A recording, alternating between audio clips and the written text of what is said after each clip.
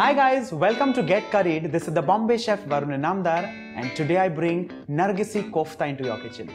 Nargisi kofta for the uninitiated is nothing but Indian version of scotch eggs. Scotch eggs are basically boiled eggs which are encased in either a potato mixture or a mince mixture.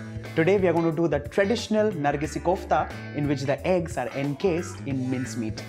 So the first step is to begin with hard boiled eggs. So I'm putting some water to boil, adding in a little bit of salt and what goes in next is washed eggs.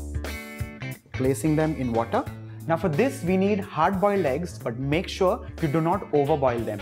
When you overboil basically the yolk which is yellow in color gets a ring which is grey in color which is nothing but ferrous oxide which is poisonous. So make sure you boil eggs to perfection 6 minutes to 7 minutes and you get perfect hard boiled eggs. Now by the time the eggs are boiling let's chop an onion.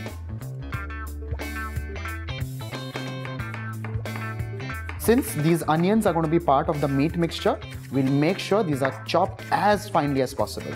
Now that it's been 7 minutes, I'm removing these eggs and I'll be letting them to chill for some 7 to 8 minutes before we start peeling them.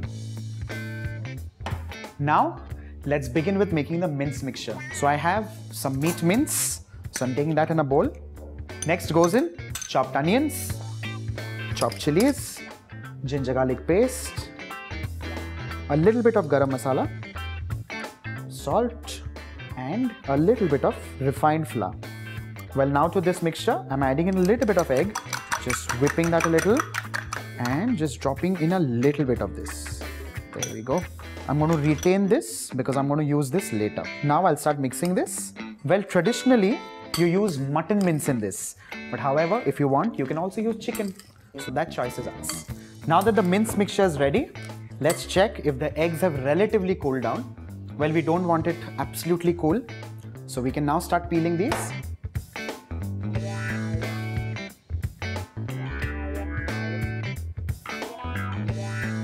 Now that the eggs are boiled, peeled and ready and the mince is ready, I've placed some oil here on medium heat and this is for the koftas to fry.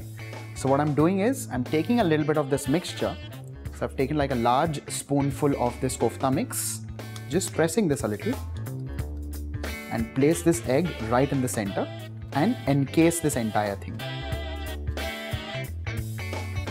Well, if you want to make this encasing easier, you can just dip your hands in some water and just try and get all of this evenly together.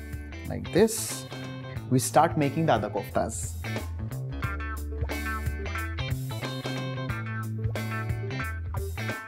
Now that these koftas are ready, now comes the frying part. So just dabbing a little bit of flour is because this now goes into the beaten egg. Remember I had asked you to keep that aside? So here is now this kofta going into this egg mixture and now this goes in the oil. So similarly, I'm going to fry the others.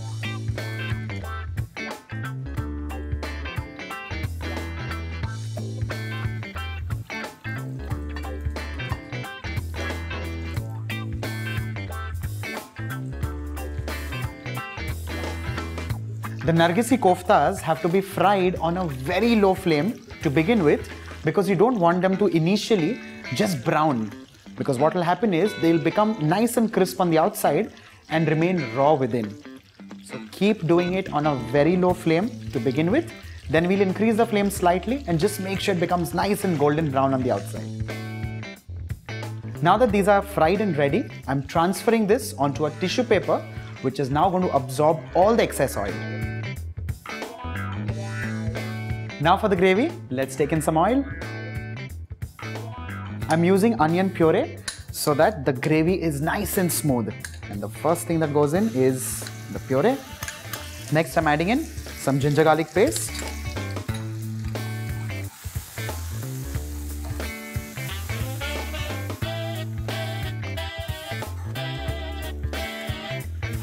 Next goes in tomato puree.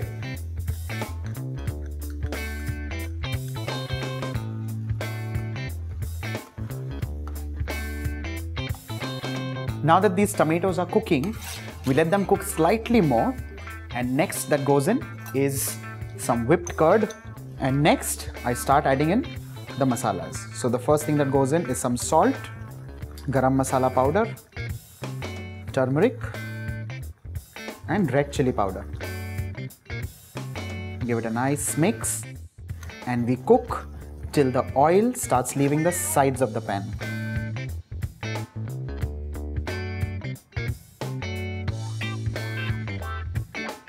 Now that oil has released the sides of the pan, in goes the kofta.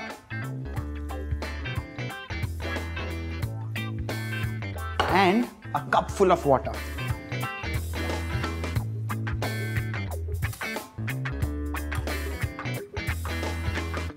Now that this is ready, let's begin with the plating.